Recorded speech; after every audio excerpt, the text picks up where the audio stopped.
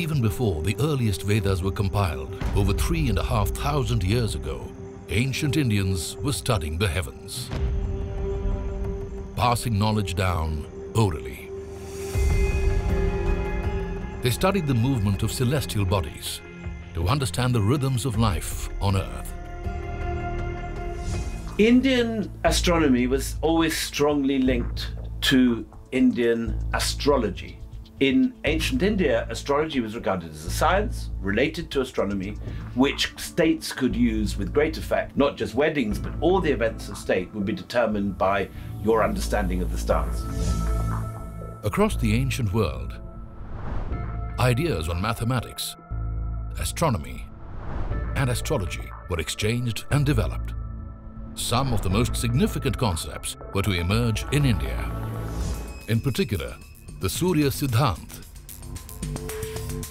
believed by some to have been written by the great mathematician, astronomer and poet Aryabhat 1500 years ago.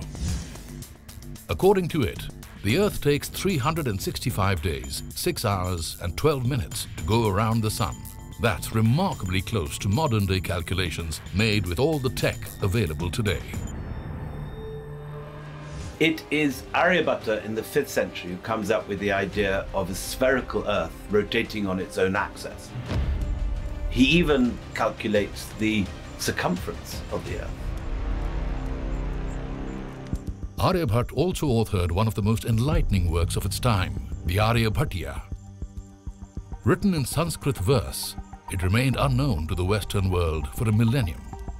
Apart from concepts of arithmetic, trigonometry, and algebra, Aryabhatiya speaks of the Earth's rotation, explains solar and lunar eclipses, and hints at the idea of heliocentricity, of how the Earth and planets revolve around the Sun. It also describes the luminosity of the Moon and planets as a reflection of sunlight. His ideas were developed further by other scholars.